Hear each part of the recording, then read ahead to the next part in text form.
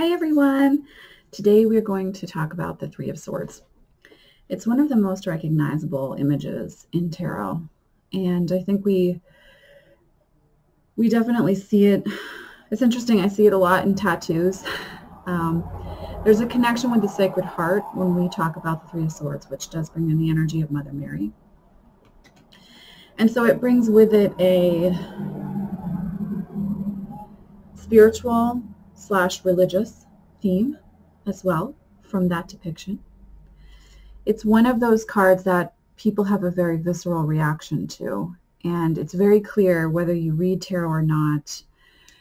Three swords sticking through, you know, piercing a heart and coming out the other side of the heart.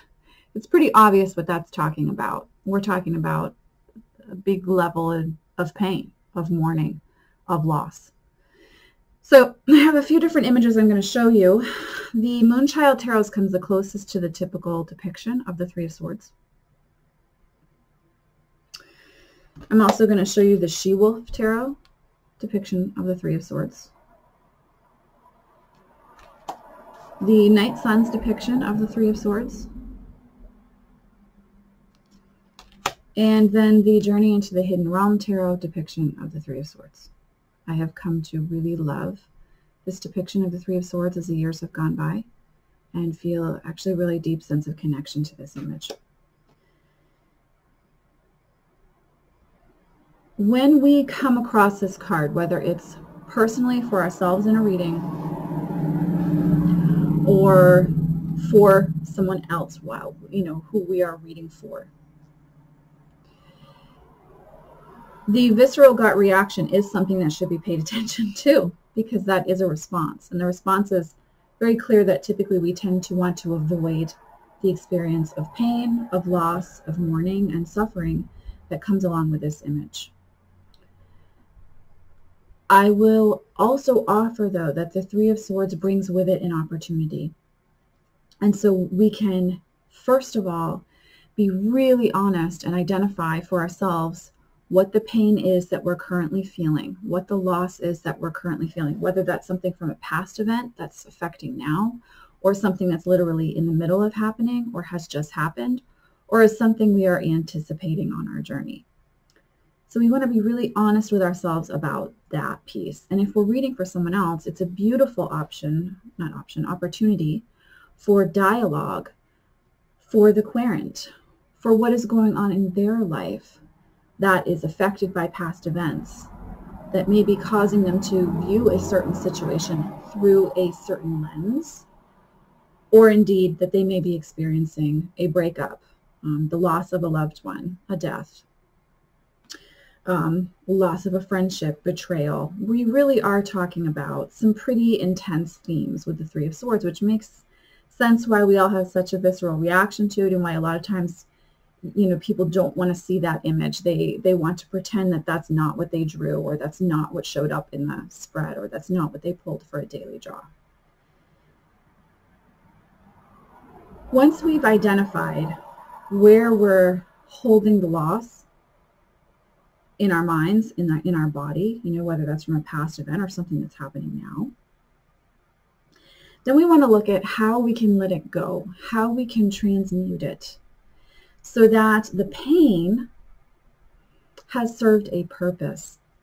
So, and I've talked a lot about that this in my videos this year. We we tend to not want to feel any pain, and so we do anything we can to avoid it. And yet the purpose of pain is to get us to stop and pay attention to something. And so once we actually allow ourselves to feel the depth of the experience, the depth of our own emotions related to an experience, etc., then we can re- uh, achieve, reach a level of understanding as to why we've had this experience, why we are experiencing this pain. And that's where transmutation can then come in because now we can shift something. Whereas if we ran away from the pain, we never actually dealt with what has caused the pain. We've never actually stopped and looked at what the pain was asking us to look at. And if we tamp it down, it just broods and breeds in the body causing us to, you know, experience anxiety, depression, those things that we're from avoidance, from wanting to avoid, we're not dealing with something that's actually motivating a lot of our actions in our life unconsciously. So the Three of Swords is a call to do this work. It's a call to look at this. Now, depending on how you read it, who you're reading for, you may be able to decipher if this is a past pain that they are refusing to let go of, something that they haven't looked at and is actually motivating a lot of their actions right now, but they are not are aware of it, that they don't realize it, or if you're reading for yourself, that you yourself are not wanting to realize. And then we can begin to look at how we transmute it into gold, how we can understand the lesson in the pain and stop obsessing about the experience. So this requires self-awareness and attention and also a level of self-care. So you can see how we can go really deep with the Three of Swords. So in a reading, we can say, we pull this card, we say, oh my goodness, I see that you've experienced a great loss and you're, you are, you know, your heart is in mourning. You feel the weight of this loss and it is so heavy that you don't even know sometimes if you can make it through the day or if you can get out of bed. It's that heavy. It's that real. It's that intense of an experience. So we have this piece that the card serves a purpose for, that surface layer of calling something to the light. And the querent or ourselves can, you know, answer back to us, um, oh my God, absolutely. I lost my dad when I was five and I've really been missing him. And this energy has like really, I've really been feeling it lately, even though it's been like whatever, 30, 40 years. And it's been weighing so heavily on me and I don't know how to let go of it, right? Like let's say that's the response that we get from expressing the, the card meaning of the Three of Swords. The beauty with tarot is that we can then unpack how to acknowledge, or at least start acknowledging, and dealing with the pain, understanding the pain, the lesson in the pain, so that we don't have to stay in the Three of Swords energy forever, which is really being trapped, isn't it? We're stuck in that box. We're stuck. We're stuck in that moment, and everything that we're experiencing is a repetition of that moment. It's viewed through that lens. So how do we start to release the lens?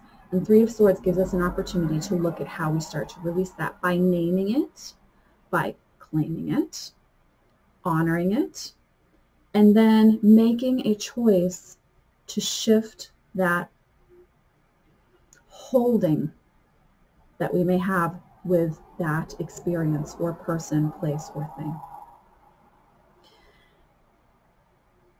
and this is a process. And so working with the Three of Swords is a process, but it's also a call to not allow ourselves to stay stuck any longer. And I think over the years, that's my biggest piece with reading with the Three of Swords is, okay, this happened. This is affecting this aspect of your life. And yet now it's really time to let go of that.